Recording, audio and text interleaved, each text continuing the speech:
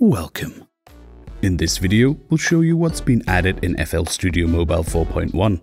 So we have quite a bit to talk about. Most importantly, there is a new synth, 3OSC. Yes, you heard that right. If you're using FL Studio Desktop, this will be familiar. Our team has meticulously recreated every functional detail of 3OSC and implemented it into FL Studio Mobile. We even migrated all the presets. So, FL Studio Mobile now has a very versatile 3-oscillator subtractive synthesizer with a full complement of envelopes, LFOs, filter, polyphony and arpeggiator options. Slide notes. While we're on the topic of implementing desktop features, there are now slide notes. Select any note to bring up the toggle slide option. Yes, this is still a note, even though it's become a triangle right in front of your eyes. This feature allows you to slide the pitch of a synth or sampler up and down. The direction of the slide is indicated by the orientation of the triangle. The duration of the slide will set the length of the slide. At the end of the slide note, the pitch will be 100% affected by the slide. Slide notes will also slide note properties like velocity and note panning. Yes, note panning. You can now pan notes left or right in the piano roll. Sweet.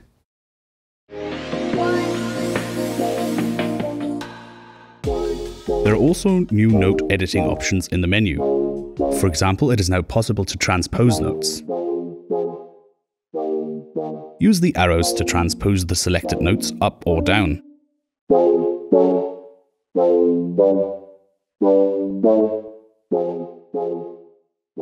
Or you can enter a specific amount of semitones here.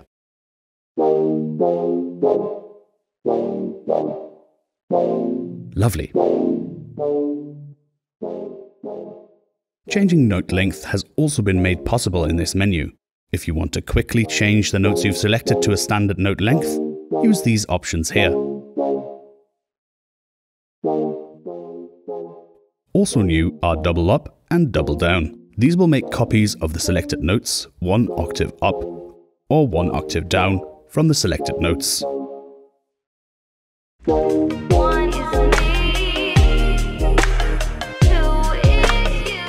Updated modules. Parametric EQs for bands can now be tapped and dragged by their nodes, finally. That's much faster than moving the controls down here every time.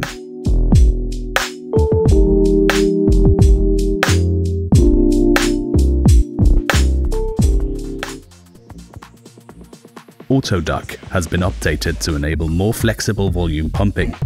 There is now a timing control and several curve options, including an S-curve design for traditional offbeat pulsing.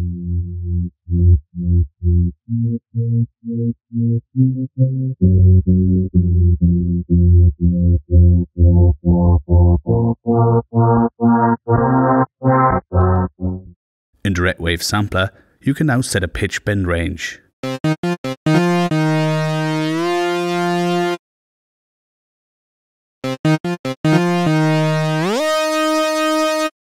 Transdelay has received a new ping pong option that hard pans rather than flipping the stereo image every loop.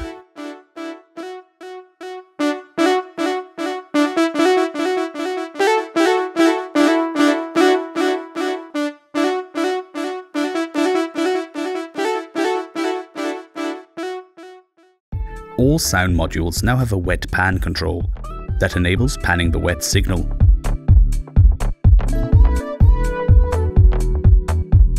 This, in addition to the new mid-side encoder and decoder options in Spacer, makes it possible to do mid-side processing in FL Studio Mobile.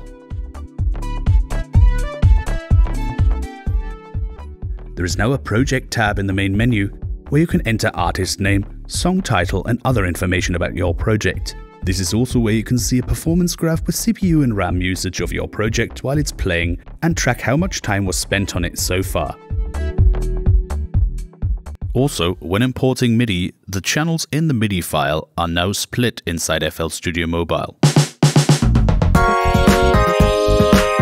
helpful.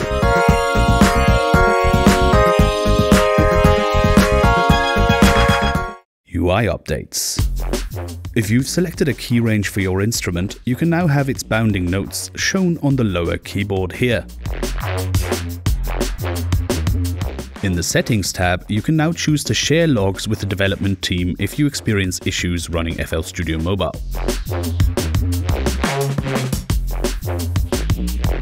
Items in the shop can now be filtered by category here. We showed a bit of this in the Project tab, but there is now also a RAM usage meter in the transport bar. We've updated the tempo dial to feature plus and minus 1 and plus and minus 10 BPM options for quicker BPM changes. No more endless cranking.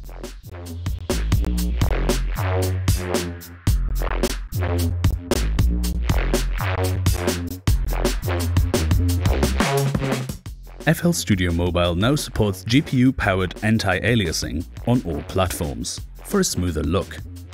And finally, we've added two special themes that were made by people with severe vision impairments for accessibility.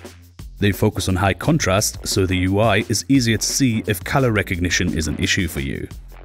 And with that, we hope you love FL Studio Mobile 4.1 just as much as we love your lifetime free updates. Don't forget, the video information has links to the new features in the manual and all the projects we've made for this video available for registered FL Studio Mobile customers.